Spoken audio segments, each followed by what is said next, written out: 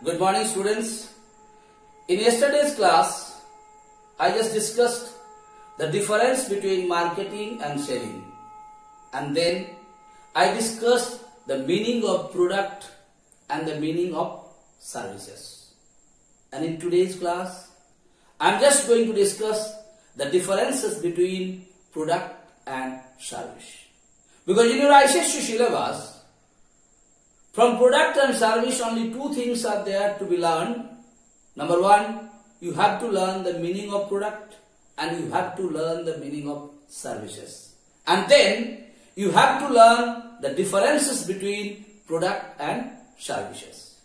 And whenever you are going to write the differences, all of you are knowing the rules how to write the differences. Whenever you are going to write the differences, you have to write first basis of distinctions on the basis of which all points you are going to differentiate product and service.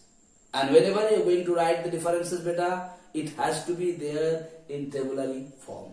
First point you write basis of distinction, then you write the product and then you write the services. And the most important things, this point of distinctions. So, if it is a 5 marks question, I told you, as per the council's rules, you are supposed to write 5 differences. But I always told you to write one extra.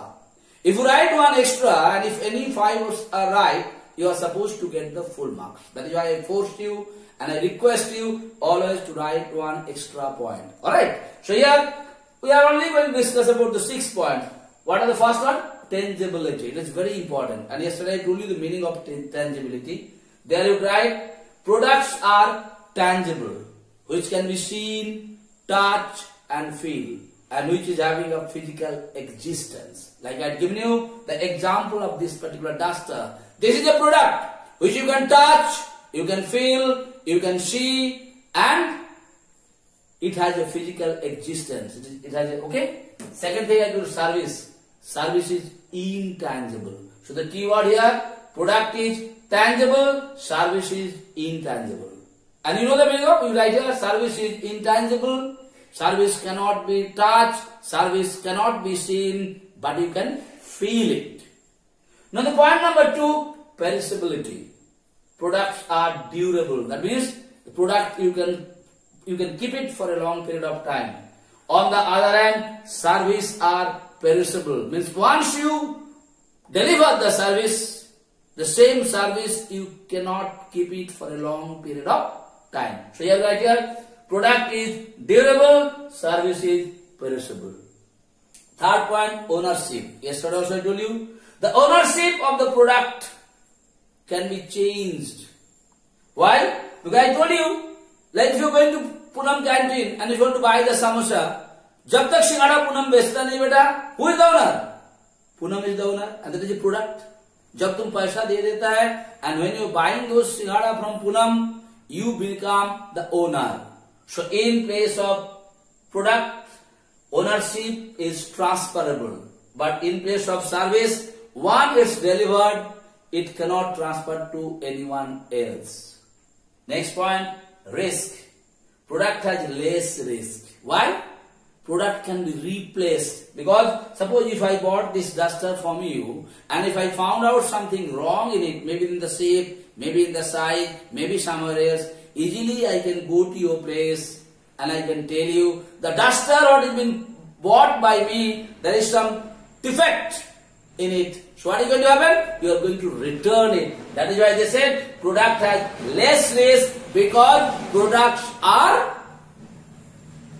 what? You can exchange or you can replace it. But on the other hand, service has a lot of risk because service one you delivered it cannot be replaced. एक बार तुम किसी का दिल में दुख दिया एक बार किसी को तुम हार्ट किया बेटा it is for that particular incident or for that particular things you cannot take it back because the feelings will always be there. That is why in product risk is less. Why?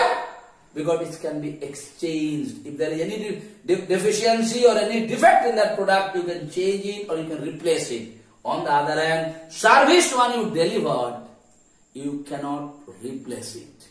Next thing, quality. Products, you can control this quality. That means you can see, you can easily, you can do the, you, product has a quality because a product can be produced according to the standard given by the buyer. Suppose if I go to a factory and if I told them I want a duster of this size, this shape and same thing, so that can be produced. All the dusters can be of the same size, same shape, same way. But on the other hand, the service, the quality cannot be controlled because same kind of behavior, same kind of nature which may hurt someone else and which other people may enjoy it. That is why they said service has no control on you because it's depend on the person concerned. On the other hand, inventory. That means product can be stored for future. Quality product, I have bought this duster, I can keep it for a long, long period of time. On the other hand, service cannot be stored for future. So these are the most important points what you are supposed to write if the question come from 5 marks. If the question come from 2 marks, write the differences between products and services. If it is a 2 marks questions, you are supposed to write 2 points but I am telling you, you always write 3 points with points of distinctions. One more thing, my suggestion to you beta, whenever you are going to write this point of distinctions, if you use black ink to write it, that is better. Because if you write this point of distinction in black ink, that is going to be attract the examiner's eyes.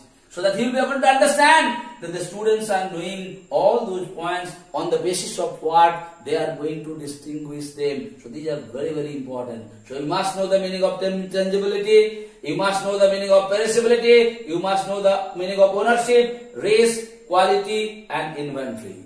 One more thing I want to tell you, beta. Whenever you are going to write the differences, you are supposed to write the differences in full sentences. You cannot write a perishable, what? Durable, perishable. You don't write it. Your book must have been given durable, perishable. You must write it. Products are durable and service are perishable.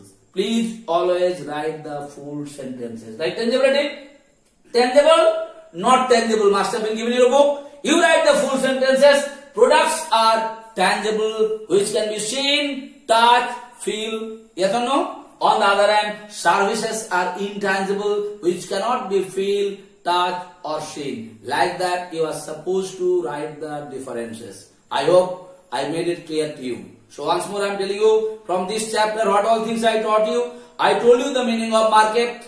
I told you the meaning of marketing. Then I told you the objectives of the marketing. And then I discussed the differences between marketing and selling.